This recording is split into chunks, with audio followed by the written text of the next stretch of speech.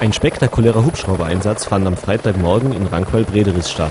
Bei der Sanierung einer Pogivosi-Wohnanlage mussten 35 Meter lange Rohre für eine Solaranlage über das Dach eines zehnstöckigen Gebäudes in einen bestehenden Kamin eingeführt werden. Es ist ein bestehendes Kamin.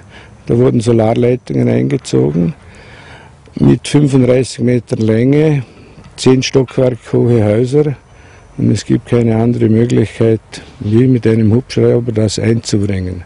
Weil telegrammmäßig über 70 Meter ist viel zu teuer. Und das war die ideale Lösung. Mit einem Hubschrauber der Firma Wucher wurden die Rohre zentimetergenau in die dafür vorgesehenen Öffnungen eingebracht und im Gebäudeinneren versenkt. Auch für die ausführende Installationsfirma Wucher und Müller keine alltägliche Aktion.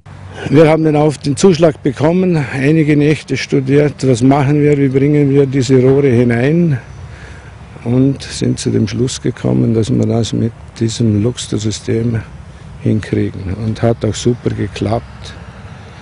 Beim Aufziehen ist, war immer die Schwierigkeit, knicken sie ab oder wie geht's, aber Gott sei Dank alles gut gegangen. Für die Hubschrauberbesatzung war weniger die Länge der Rohre als vielmehr die Umgebung und die Art, wie die Rohre abgesetzt werden mussten, eine Herausforderung.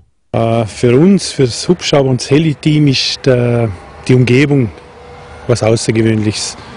Äh, ansonsten ist es für uns eigentlich Routine, auch, auch diese Länge vom, vom Gehänge und vom, von den Rohren selber, die 35 Meter, ist nicht so außergewöhnlich. Kann man immer wieder mal in diese ja, Längengrenzen zur Koordination und damit die Rohre auch wirklich so gezielt abgesetzt werden konnten, bedurfte es einer eingespielten Crew und dem gewissen Augenmaß. Ja, zum einen hat man ja einen, einen Flughelfer oben, der über Funk einweist.